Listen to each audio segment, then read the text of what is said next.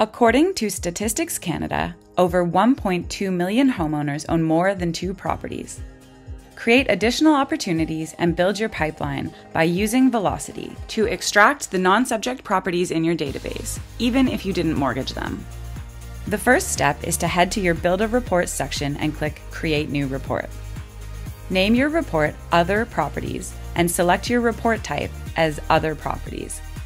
In the Product section, select Rate Type and filter by Adjustable, Capped Variable, and Variable. Click Configure Report and select the fields you would like to include in the report. For example, it might be useful to include the property value and product information as part of your report so that you can quickly sort by this information in the CSV file that is generated.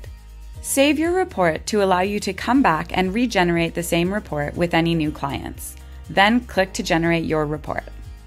You can export your report as a CSV or instantly create an audience list in Velocity CRM to easily target these clients with an email or a text message campaign.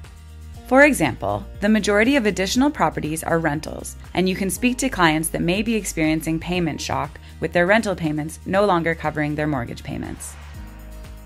For more ideas on how to use your existing database and Velocity Build reports to grow your business, be sure to check out the additional videos in our Build Your Pipeline series.